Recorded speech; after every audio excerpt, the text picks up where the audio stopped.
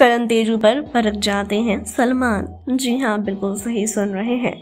तेज run पर भड़केंगे सलमान खान, लगाएँगे उनको करी फटकार।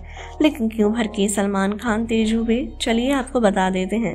अब आपके मन में तो यही आ रहा होगा कि पूरे हफ़्ते ऐसा तो कुछ नहीं किया तेजू ने, लेकिन ऐसा नहीं है। सलमान खान किस बात पर डांटेंगे, वो भी आपको बता दें।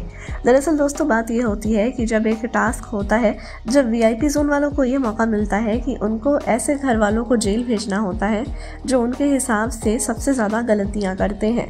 लेकिन यहाँ पे जो तेजू और करण है, ये सब वीआईपी जोन वाले सदस्य राजीव अदातिया को जेल भेज देते हैं, जबकि सबको ये बात पता है कि प्रतीक ज़्यादा गलतियाँ करते हैं। यहाँ तक कि निशांत भी यही कहते हैं कि प्रतीक बहुत गलतियाँ करता है, लेकिन उसके बाद भी राजीव अदातिया को भेज दिया जाता है, और ये कहा जाता है कि यहाँ पे इस टास्क को सीरियसली नहीं लिया गया, और इसी चीज़ को लेकर सलमान खान, तेजू, करण और वीआईपी जोन के कंटेस्टेंट्स को लगाएँगे फटकार। बिग बॉस 15 से जुड़ी हर खबर को पाने के लिए जुड़े रहें हमारे चैनल के साथ।